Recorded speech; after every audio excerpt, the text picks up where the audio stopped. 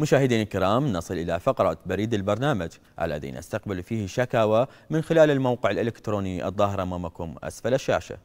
الرائد المتقاعد حسين رمضان حسين علي. أخي الفاضل صدر أمر بإحالتك إلى التقاعد لبلوغك السن القانوني لذا لا يوجد سند قانوني بإعادتك للخدمة.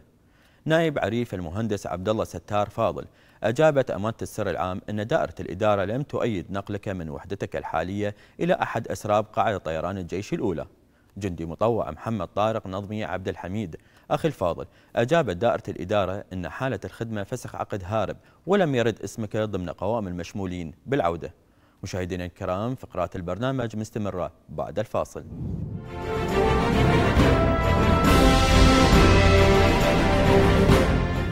أهلا وسهلا بكم من جديد لتكملة بريد البرنامج. المواطن محمد مجيد عبد الصالح. أخي العزيز أجابت أمانة السر العام لا يوجد استثناء من شرط العمر كونه يتعارض مع قانون الخدمة والتقاعد العسكري. المواطن عدنان ضياء فالح والد المقدم ضياء فالح حسن. أجاب مكتب الأمين العام يتم شطب الديون الحكومية وفوائدها المتحققة للشهيد حصرا واعتبارا من يوم استشهاده.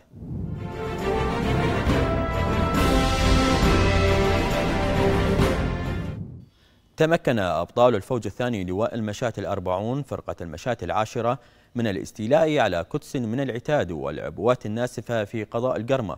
كان يستخدمه تنظيم داعش لاستهداف المواطنين والأجهزة الأمنية. الزميل كرار الربيعي أعد لنا هذا التقرير.